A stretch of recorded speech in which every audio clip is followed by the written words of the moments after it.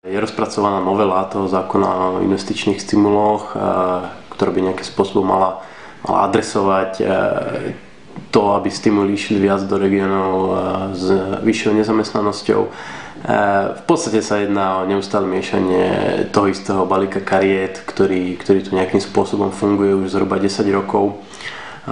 Keď sa pozrieme trošku na tú históriu tých investičných stimulov na Slovensku od toho roku 2002, keď to nejak vypuklo takýmto spôsobom, ako to poznáme dnes, to udelovanie, a za týchto, za týchto 11 rokov bolo udelených zhruba 128 stimulov k celkovou hodnotou asi 1,4 miliardy eur.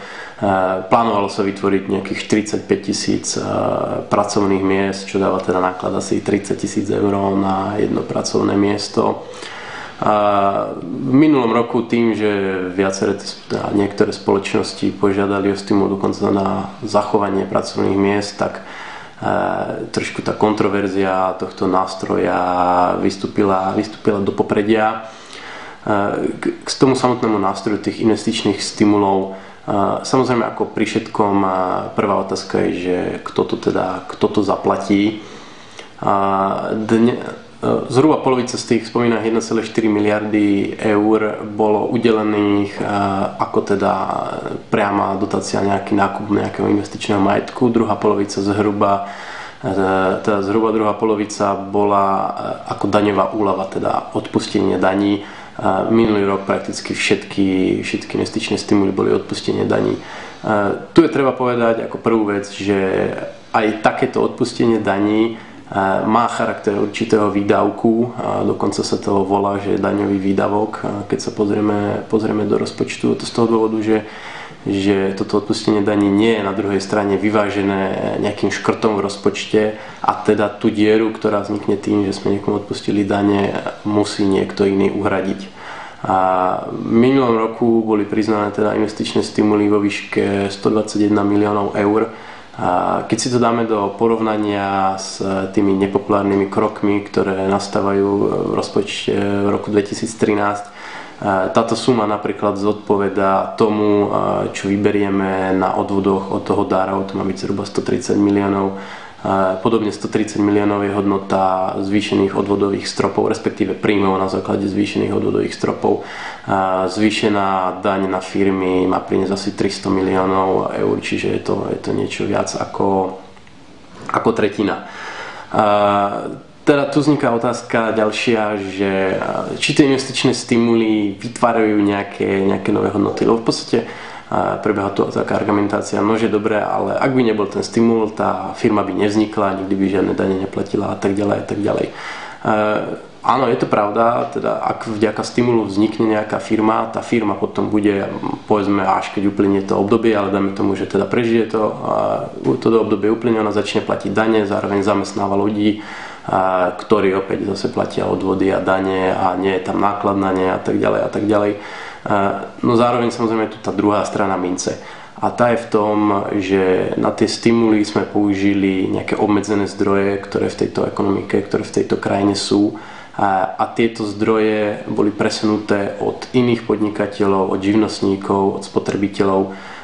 To znamená, že investičný stimul na jednej strane vytvoril pracovné miesta, na strane druhej tým ľuďom, od ktorých, alebo tým subjektom, od ktorých boli tie peniaze získané, tie zdroje, e, ostane menej na ich vlastné projekty. Čiže e, možno, nepre, možno niektorí živnostníci budú musieť zatvoriť, budú musieť e, odsunúť nejaké investičné nákupy, iné menšie možno firmy budú musieť prepušťať a tak ďalej a tak ďalej. Čiže z nášho pohľadu pri investičných stimuloch hovoríme skôr o prerozdeľovaní ako o vytváraní nových pracovných miest alebo vytváraní nových hodnot. Jedným z argumentov eh, pre investičné stimuly je, dal by sa povedať, taký sociálny argument, eh, no že dobre, uznávame, eh, nie je to úplne spravodlivé, nejakým spôsobom to teda narúša, narúša trh, ale na Slovensku sú veľké rozdiely medzi regiónmi a mali by sme nejakým spôsobom teda podporovať, aby vznikali tie pracovné príležitosti a tie firmy, aby zakladali aj v tých problematických regiónoch. V podstate táto, táto retorika prebieha už od, od vzniku týchto invest, tohto nástroja investičných stimulov. No opäť, ak sa pozrieme na tých ostatných 10 rokov, ktoré uplynuli, do regiónov s podpriemernou, teda do okresov s podpriemernou nezamestnanosťou z tých 128 stimulov smerovalo 67 ktoré e, s celkovým objemom viac ako 900 miliónov eur naproti tomu do okresov s vyššou ako priemernou nezamestnanosťou išlo, išli stimuly v hodnote zhruba 400 miliónov eur. Čiže do tých okresov e, s podpriemernou nezamestnanosťou išlo dvakrát viac e, tých stimulov ako do tých s nadpriemernou. Čiže ako vidíme, tá, tá, tento argument až tak moc, moc neobstojí a je veľmi otázne, že či nejakým zmenou tých pravidel, ktoré už prebehla niekoľkokrát a nikdy sa teda príliš nevydarila v tom, že by, že by sa nám podarilo dostatočne uplatiť tých investorov, aby išli do, regionov, e, do chudobnejších regionov, že či sa s touto najnovšou zmenou niečo podarí. Taký, taký ten tretí, tretia vec, ktorá býva, ktorá, ktorú sa argumentuje pri investičných stimuloch je, že no dobré, ale majú to všetci okolo nás, majú to Češi, Poliaci, Maďari, Jednoducho, ak chceme bojovať o tie investície, ak chceme bojovať o tie firmy, musíme nejakým spôsobom tie stimuly, stimuly poskytnúť. Opäť, e, tu treba povedať, že chceme nalakať, e, chceme doslova si kúpiť pár firiem, ktoré k nám prídu s pomerne vysokým e, nákladom, alebo radšej pripravíme, pripravíme investorom také prostredie, do ktorého budú ochotní prísť sami. Keď sa pozrieme po tejto poslednej zmene na daň z príjmov právnických osôb vo strednej a východnej Európe, teda u tých našich ako keby konkurenčných krajín, vychádza, že s 23% Slovensko najdrahšie.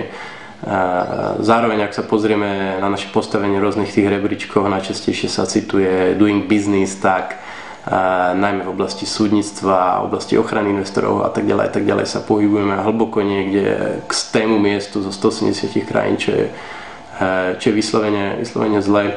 Čiže v tomto prípade bolo lepšie skôr sa orientovať na zlepšenie toho prostredia a nesnažiť sa kúpiť si tých investorov.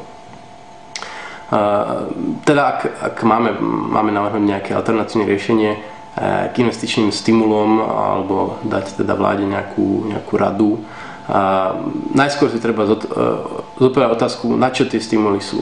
Ak sú stimuly na to, aby sme lákali investorov, e, bude oveľa lepšie, ak upravíme naše, naše podnikateľské prostredie a tak povediac, ak dáme stimul každému. To znamená, ak každému dáme daňovú úlovu, čiže inými slovami, ak znížime dane. A druhá možnosť, teda ak ako hovorím, že stimuly by teda mali nejakým spôsobom nakopnúť tie problematické regióny. Opäť je tu alternatívna možnosť v tom, že dobre, nemusíme teda nejakým spôsobom znižovať plošné dane, môžeme sa zamerať práve na tie nízkopríjmové skupiny a tie peniaze, ktoré sú využívané na stimuly, môžeme e, použiť na to, aby napríklad progresívne klesali odvody pre nízkopríjmových, čo by znamenalo, že ľudia, ktorí dnes majú minimálnu mzdu, že jednoducho by sme trošku zmenili tie parametre a tí ľudia by boli zároveň, by mali nižší náklad práce, teda, e, boli by nižší, e, lacnejší pre zamestnávateľ a zároveň by mali vyššiu čistú mzdu, e, čo by samozrejme nalákalo ľudí, nalákalo investorov do týchto, do týchto regiónov. No a tretia taká možnosť je, ak teda hovorím o tom, že stimuly sú najmä na vytváranie pracovných miest a chceme ich nejakým spôsobom zachovať, Môžeme sa zamyslieť nad alternatívmi, ako sú napríklad aukcie stimulov.